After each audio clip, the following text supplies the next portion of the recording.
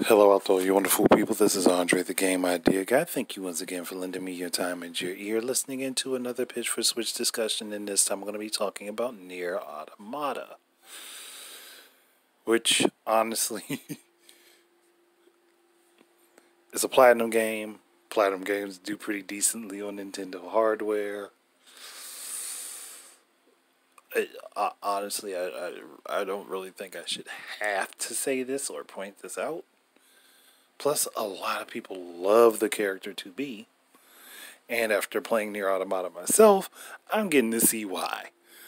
so, I I just think that putting this on the Switch is just a boon to make money. To be perfectly honest, be a good way to make some quick bucks. Maybe throw in some character costumes that weren't in the other platforms versions of the game and put it out there. A lot of people would be happy to have this on the go and be able to play it portably between doing work or other things that they have going on and being able to just take the game on the road in an easy and convenient manner. But I'm not the decision maker here. I don't own the licenses to these games.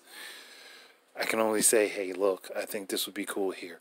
Plus, honestly, if you put Nier Automata on the Nintendo Switch, gives reason to slide 2B right into Smash. I mean, not like there isn't really a reason to slide her into Smash in the first place, because she is a really good character. And honestly, I could see how she would play in Smash, but that's not here or there. That's not my decision. Again, just a suggestion from somebody that thinks that the game is cool and knows that it would resonate very well with the Nintendo audience. But again, I, I don't make the decisions.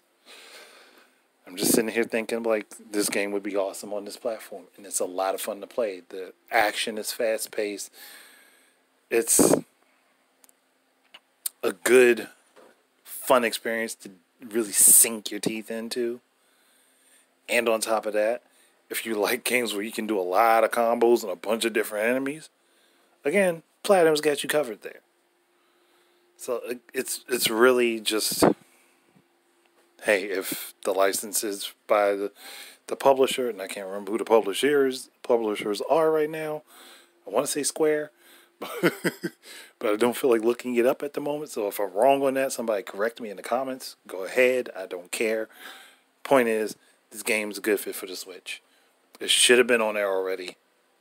It would make more money on that platform and probably be a million seller on there. But that's it. I don't really want to drag this out.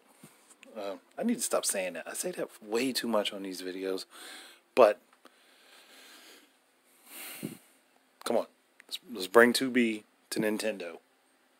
There's no reason not to. No reason not to. Let's bring her on over there pretty sure there'll be plenty of people that will appreciate the presence of another badass female in a hack and slash game on a Nintendo platform. But that's it. Thank you guys very much for listening. Keep your eyes and ears up for more stuff from me. And until the next time, enjoy your games. Peace out, everybody.